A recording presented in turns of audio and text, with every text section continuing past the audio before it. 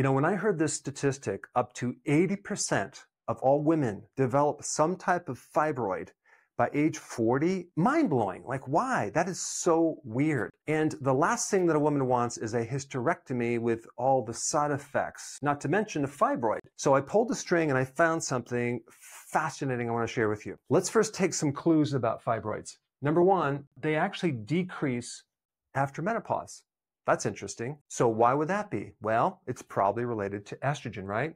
We're going to get there. When a woman goes through pregnancy or is exposed to HRT or birth control pills, there can be an enlargement of the fibroid, which sounds like it's also related to estrogen. Then we have the relationship between obesity, type 2 diabetes, high blood pressure, and polycystic ovarian syndrome, all increasing the risk of fibroids. Why is it that black women are three to nine times more at risk for getting fibroids. And of course, the common theme with this is estrogen. Estrogen is a growth hormone. It's a primary driver of fibroids and endometriosis. All right, let's look at what a fibroid is. Uterus tissue. What is a uterus?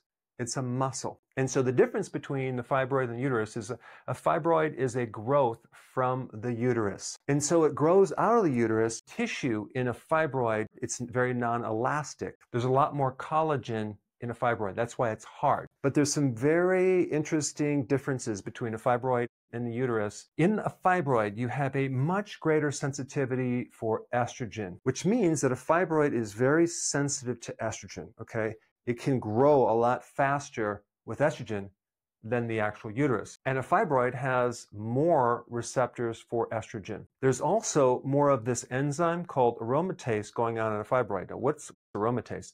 That's an enzyme that converts androgens, which is more for men, to estrogen. The environment in this fibroid has a lot less oxygen than the uterus. That's called a hypoxia environment. We'll come back to that.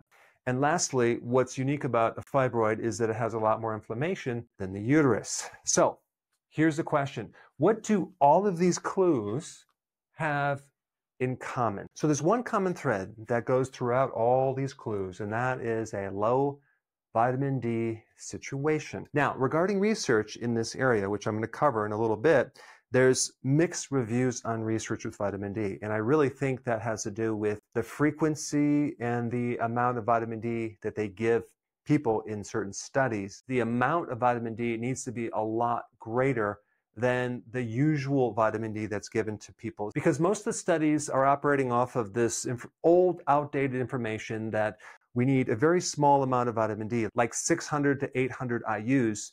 And all that research is mainly for bone, skeletal calcium, and not the immune system, the uterus, the prostate, the skin, the brain, the muscles. This is a completely other system that needs a lot more vitamin D. Vitamin D will inhibit the growth of fibroids. Number two, vitamin D also helps regulate other growth factors as well. And since we're dealing with a fibroid, we're really dealing with something that's out of control as far as the growth. Vitamin D also is an aromatase inhibitor. It blocks that enzyme preventing excess amount of estrogen. Vitamin D increases apoptosis, which causes the fibroid cells to commit suicide, preventing the growth of a fibroid. But vitamin D also is anti-inflammatory.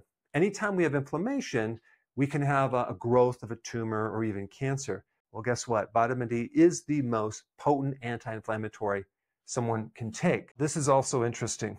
Vitamin D doesn't seem to work in an environment where there's not enough oxygen in a hypoxic environment. Now, the very nature of a fibroid, it's creating this low oxygen hypoxia because it's so dense with irregular collagen and things like that. So this could explain why normal amounts of vitamin D won't even come close to dealing or penetrating this fibroid in doing anything. You have to use much higher amounts. Vitamin D downgrades estrogen. There are two different receptors for estrogen. One estrogen receptor increases tumor growth. The other one, called estrogen receptor beta, decreases or shrinks the cells that actually are turning into a tumor. Well, guess what? Vitamin D supports this one that helps shrink it and inhibits the other one that is making it grow, which is very cool. And also, vitamin D helps to increase this certain hormone in the liver to help lower the amount of free estrogen that's throughout the body. So if we look at this whole situation, estrogen is the primary driver, but we don't have the brake pads, and that is the vitamin D, simply because the majority of the population is deficient in vitamin D, especially black people and black women. Why? Because of the melanin in the skin blocks vitamin D. And so here we have this population which is already low in vitamin D, and then they actually have these spikes of estrogen, they're going to get more fibroids than people that have enough vitamin D. Now, let's take a look at obesity, for example. Obese people are always deficient in vitamin D because vitamin D gets diluted into the fat cells. So, an overweight person needs a lot more vitamin D because it gets diluted and it's less effective.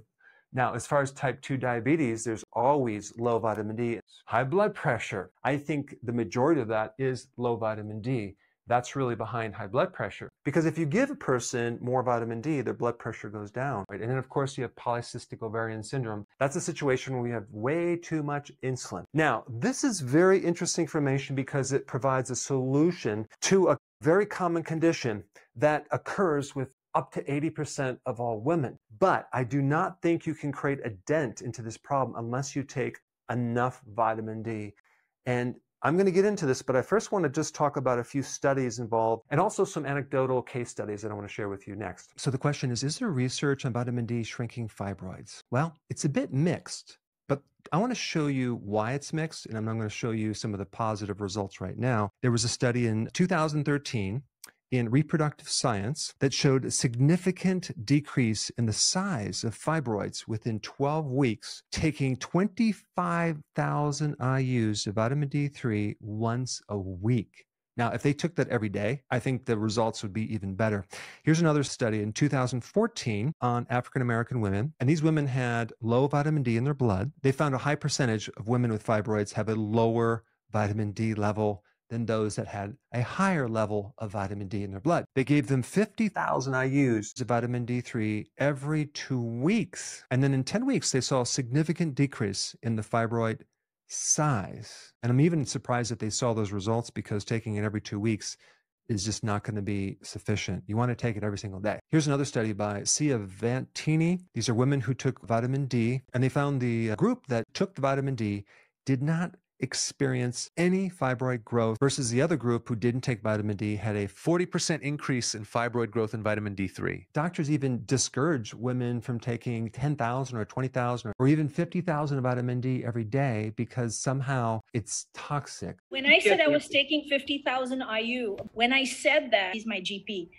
He, he was white as a sheet. He says, that can't be you took 50,000 IU, you know that's toxic. I said, no, it's not toxic. That's what they all say. Yet the research shows that you would have to take hundreds of thousands of vitamin D3 for months to create any toxicity. And really, the only toxicity is excess calcium in the blood causing kidney stones. But you can even greatly minimize that side effect by taking magnesium, vitamin K2, drinking a little more water, two and a half liters of water a day. Those are all the cofactors that will minimize that toxic effect, which Personally, I think that if you're taking 50,000 IUs or less, you're not even in that range of having any toxicity. Now, there's a really good book that I'm going to recommend down below on using high doses of vitamin D3.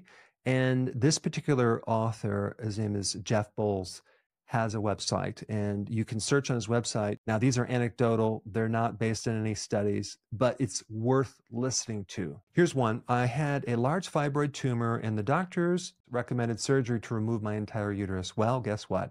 After remaining on a high dosage of vitamin D3 with the proper K2, magnesium, zinc, and calcium balance, and of course, changing my diet, my last MRI showed that the tumor is now in a necrosis status. What's ironic is my doctor at Emory in Atlanta dropped me because I refused to have the surgery. Let's show you another one right here. I am a 50 year old RN and a patient medical advocate with the vitamin D levels of 30 nanograms per milliliter. I didn't know what a difference having a high vitamin D level would do for me until now. I've taken 10,000 IUs for some years and felt a slight positive difference, but when I added the K2 and did the higher dosage of 50,000 IUs per day for one month, I've stabilized at 25,000 IUs and continue to feel the benefits. After two years, cured fibroid uterine tumors in early 2014, and I continue to experience no aches and pains. I keep my blood level at 150,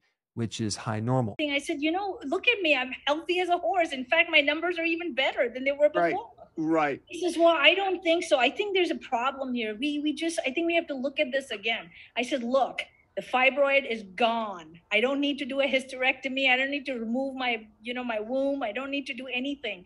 You probably need to start telling your patients about this Yeah, stuff. Why don't you read about vitamin D? Actually, there's a lot out there. So Correct. the other thing we're facing is what they don't want us to know about. They love evidence-based medicine. And they said, "Well, doctor, you believe in evidence-based medicine?" And I said, "Well, yeah, but the problem is you can't get at the evidence. It's either being censored or you put it behind a paywall. Go down some rabbit hole of science and you're looking at something and you finally get to the where the meat of the matter is, boom, it's locked behind a paywall. Unless I buy $100 for every article or whatever, I can't get it. So I really think there's enough data to seriously consider taking more vitamin D, as well as the cofactors, to potentially do some positive things about shrinking fibroids. But I think with a lot of things in the news, with scares about vitamin D, it's very important to get all the details, especially with the scare of a toxic level of vitamin D. And if you haven't seen my video on the history of vitamin D, that I think exaggerated the toxicity levels, you should check out this video right here.